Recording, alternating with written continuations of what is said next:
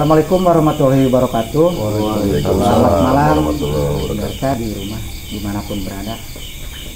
Nah, kali ini kita akan membahas mengenai eh, calon bupati, salah satu calon bupati yang merupakan beliau ketua abdesi Kabupaten Tasikmalaya. Sebelumnya, seperti kita ketahui bahwa sebentar lagi kita akan melaksanakan pemilihan kepala daerah di sejumlah wilayah, tentu juga dengan Kabupaten Tasikmalaya. Tepatnya tanggal 27 November tahun 2024, nah kita akan melaksanakan pemilihan kepala daerah termasuk di Kabupaten Tasikmalaya. Nah meskipun eh, waktu hari pencoblosan masih jauh, seperti kita lihat sekarang ya sudah mulai banyak terpampang calon-calon eh, wali kota, ada yang muka-muka lama, ada juga pendatang baru. Oke baik kali ini kita akan berbincang dengan salah satu tokoh eh, ketua abdesi yang rencananya akan mencalonkan diri sebagai calon bupati ataupun wakil bupati pada pilkada 2024 mendatang. Oke kita langsung saja kita sapa. Nah, yang pertama mungkin ada Bapak Giri pribadi ya, selaku saat ini beliau menjabat sebagai uh, Ketua Abdesi Kabupaten Tasikmalaya. Di sini juga telah hadir didampingi oleh Bapak Alpi selaku divisi hukum divisi hukum atau LBH dari Abdesi sendiri yang mendampingi para kepala desa ya. Selanjutnya ada Bapak Panji.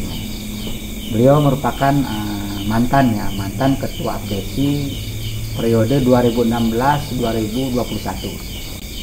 Saya akan bertanya dulu kepada mungkin Pak Ketum ya, Pak Ketua Abdesi. Ini Pak Ketua, eh, sejauh ini kan saya lihat udah mulai terpampang nih di hampir di setiap, setiap jalan desa ada baligo Bapak ya untuk mencalonkan diri. Nah mungkin eh, pemirsa di rumah pengen tahu nih betul apa enggak sih eh, terkait Bapak pencalonan diri menjadi calon Bupati Tasikmalaya periode untuk pemilu 2024 ini. Pak. Bisa dijelaskan Pak? terima kasih ya Akang ini saya merasa bangga dan saya merasa tenang saya didampingi oleh panglima-panglima desa ini ada Kang Panji panglima desa yang betul-betul tahu persis kondisi desa juga. Ada Kang Albi yang beliau mendalami terkait produk-produk hukum yang ada di tingkat desa. Dan bahwa pencalonan kami tubuh organisasi alhamdulillah dengan dorongan para kepala desa yang di Kabupaten Tasikmalaya ada 350 kepala desa dengan dorongan para kepala desa dan tersentuh mungkin dari Nurani sudah saatnya desa-desa bisa maju sudah saatnya desa-desa menang sudah saatnya desa-desa membangun. Artinya para kepala desa berharap dan punya keinginan, punya harapan di kontestasi pilkada di tahun 2024 November nanti mungkin dari sosok kepala desa yang tahu persis dari mulai permasalahan desa dan solusinya juga mendorong kami untuk mencalonkan diri menjadi bupati atau wakil bupati di Kabupaten Tasikmalaya.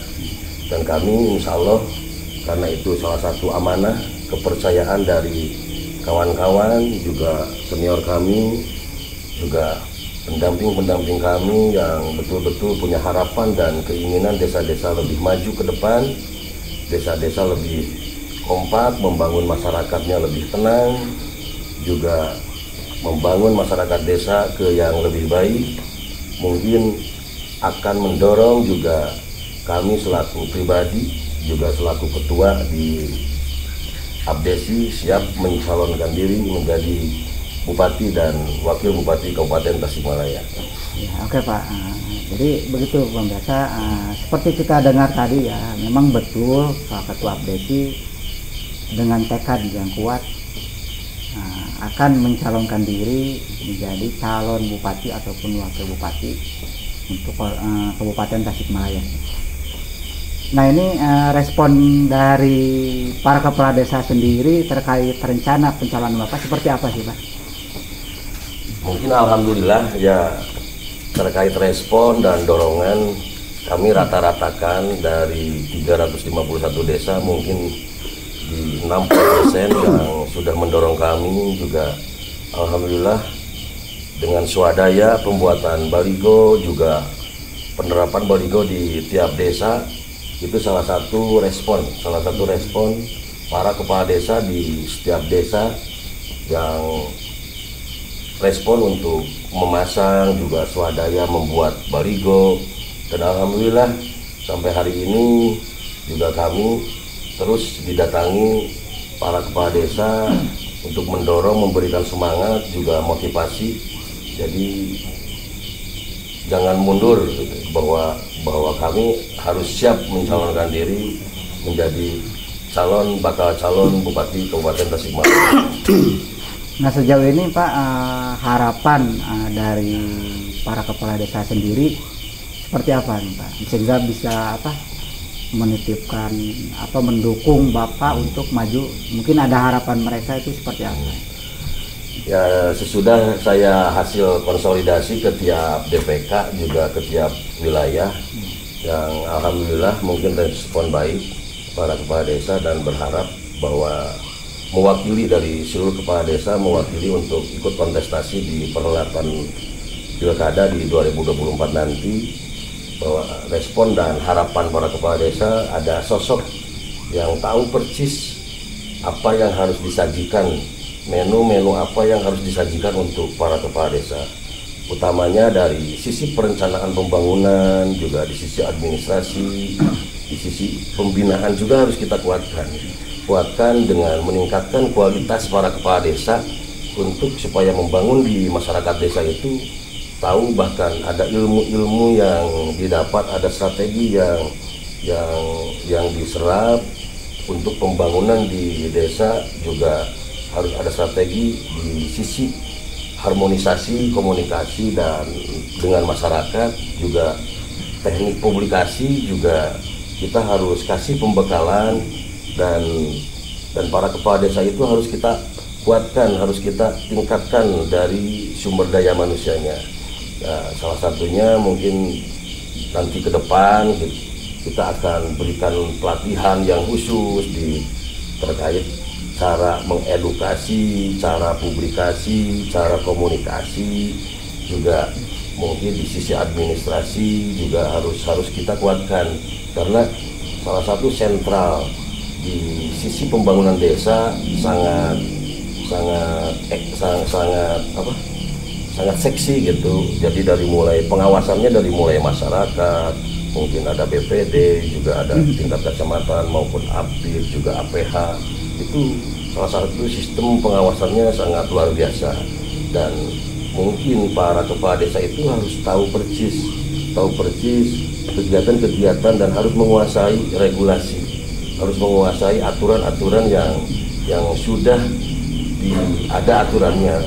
Mungkin juga harapan kami ke depan di kepemimpinan daerah yang akan kepala daerah yang akan datang bisa membimbing bisa membimbing juga bisa memberikan ilmu yang yang cukup.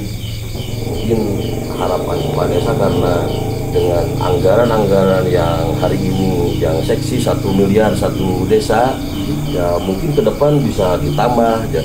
juga kita harus kuatkan di sisi SDM para kepala desa uh, sebelum kita ke narasumber selanjutnya uh, tadi uh, sempat apa namanya saya dapat menyimpulkan ya terkait pencalonan diri dari Bapak Giri selaku Ketua AFDP memang beliau sosok uh, pribadi yang selama ini bergelut mungkinnya lebih punya kedekatan emosional dengan para kepala desa. Jadi beliau lebih tahu mengenai permasalahan-permasalahan yang ada yang dihadapi oleh para kepala desa sendiri. Nah selanjutnya kita akan coba uh, berbincang dengan Bapak Alpi ya selaku LBH ataupun pendampingan hukum dari organisasi Abdesi. Nah, selamat malam Pak. Selamat malam. Nah, ini tanggapan Bapak ini terkait rencana pencalonan Pak Ketua Abdesi seperti apa? Uh, Alhamdulillah ya, terima kasih. Pertama, amanat Undang-Undang Dasar 1945 itu setiap warga negara berhak memilih dan berhak dipilih dalam pemilihan umum yang langsung umum bebas rahasia jujur dan adil tentu. Itu dasar kami barangkali mengusung ketua umum kami. Yang kedua eh, kita sadar betul setelah tahun 2014 diundangkannya undang-undang desa bahwa kewenangan desa itu menjadi sentral ya, menjadi kekuatan untuk menopang merealisasikan pembangunan yang basicnya dari desa. Dan itu adalah tujuannya untuk mempercepat pemerataan gitu kan? Nah hal ini yang barangkali kami soroti dan kami sikapi kenapa kami mengusung ketua umum kami di mana para kepala desa lah yang paham persis gitu kan. Sehari-harinya seperti apa ya pergulatan masyarakat di desa? Dan apabila ini match dengan kepala daerah gitu kan itu akan ada sinergi yang lebih menguatkan lagi pembangunan itu akan lebih apa bisa dilaksanakan dengan lancar. Ya terutama kami butuh peraturan bupatinya itu gitu kan. Jadi sehingga nanti eh, apa apa yang sudah diundangkan diamanatkan dari pusat kami bisa lebih eh, mendohirkan secara real dan dipermudah dimudahkan oleh peraturan-peraturan turunannya gitu kan. Sehingga bagaimana kita mengkomunikasikan contoh seperti ini. Para kepala desa dengan berbagai backgroundnya dengan berbagai latar belakang pengetahuannya tentu itu satu permasalahan dalam membaca undang-undang dalam menerjemahkan apa perintah undang-undang dalam pembangunan nasional.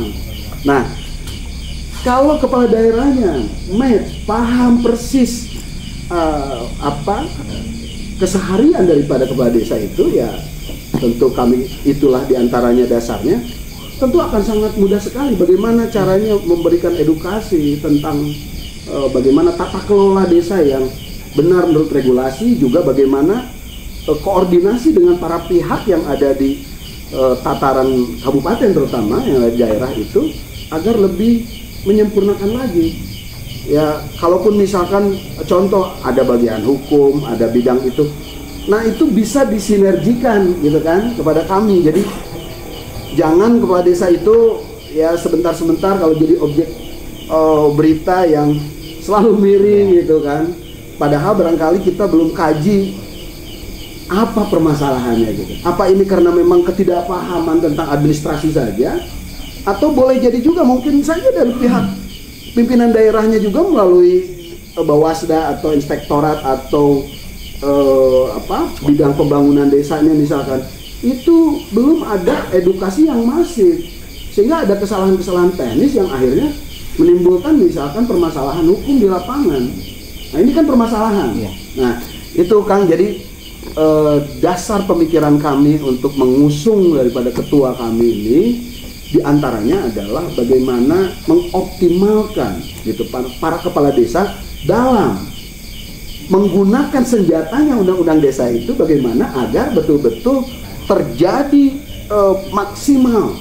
Bagaimana pembangunan di desa itu ya eh, amanat daripada undang-undang itu yang kalau kita kaji sedemikian rupa ya hebatnya daripada undang-undang desa di mana desa itu punya kewenangan-kewenangan khusus dan kepala desa juga punya kewenangan-kewenangan khusus dan apabila itu diinformasikan dengan benar kepada para kepala desa dengan adanya sinergi dengan kepala daerah saya yakin percepatan di kabupaten mana pun itu akan eh, tercipta dengan maksimal. Itu kurang lebih kan. Iya. Itu antaranya.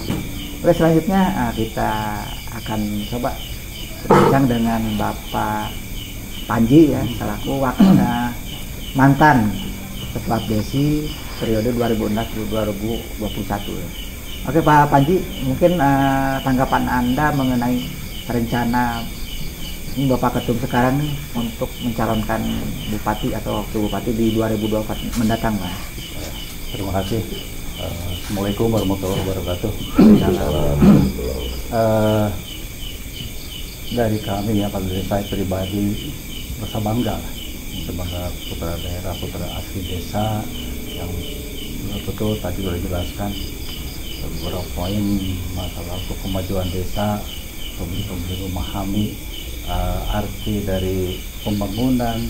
Nah itu diperlukan tadi semacam genset ataupun eh, meningkatkan kapasitas desa terus bagaimana saya percaya sama beliau sama ketua Abdul sekarang karena dengan dorongan para kepala desa dan para kepala desa semua tadi dengan gotong royong segala macam swadaya ya bagus lah alhamdulillah. Ya putra daerah asli desa ingin memajukan mengabdikan diri lebih jauh gitu kan. Karena ini 39 kecamatan hmm, tidak sedikit kan. 351 desa yang harus dikelola. Nah itu pun nanti dengan kerja kerjasama kerjasama antar kecamatan DPDPK insya Allah lah desa eh, desa-desa yang ada di Kabupaten Semaya eh, bisa lebih maju ke depan gitu kan. Lebih terarah masalah tadi kan masalah SDM tiap-tiap kepala desa berbeda-beda. Berbeda-beda terbelakang pendidikan segala macam. Tidak semua memahami apa sih eh, yang namanya administrasi desa yang benar itu bagaimana.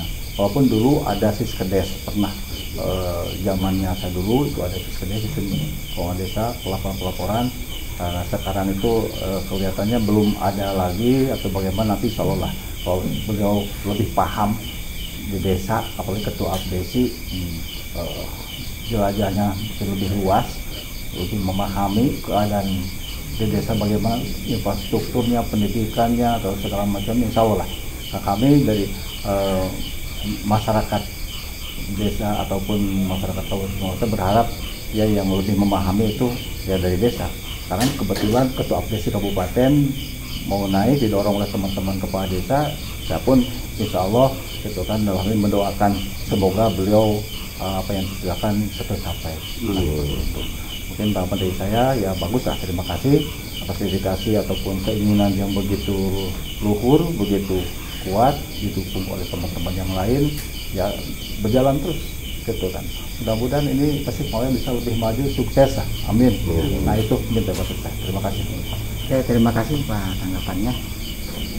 Ya mungkin sebelum kita akhiri ada sedikit mungkin eh, terakhir ya pertanyaan bagi Pak Giri ya yang berniat mencalonkan diri. Ya mungkin Pak ada harapannya Bapak ya terkait pencalonan Bapak. Harapannya seperti apa? Ya, terima kasih Kang. Mungkin harapan kami juga ada ajakan ke seluruh warga masyarakat desa juga para kepala desa mari kita wujudkan bersama bahwa desa-desa di Kabupaten Tasikmalaya yang lebih maju juga pembangunan di desa-desa Tasikmalaya dengan kepemimpinan ada kepala desanya kalau kepala desa lebih dicintai oleh seluruh masyarakat desa. Itu salah satu harapan kami. Jadi kepala desa harus bisa membangun yang tepat juga. Tepat di sisi administrasi tepat sasaran untuk pembangunan juga tepat di kala melaksanakan kegiatan-kegiatan yang bersumber dari APBN provinsi maupun dari daerah. Itu harapan kami desa-desa lebih maju masyarakat juga lebih sejahtera dan para kepala desa dicintai oleh seluruh warga masyarakat yang ada di desanya masing-masing. Terima kasih semuanya Pak Alfi. Pak Yuri dan Pak. Mhm. Oke itulah eh, perbincangan singkat kita ya malam ini akan kita kupas pada segmen berikutnya ya.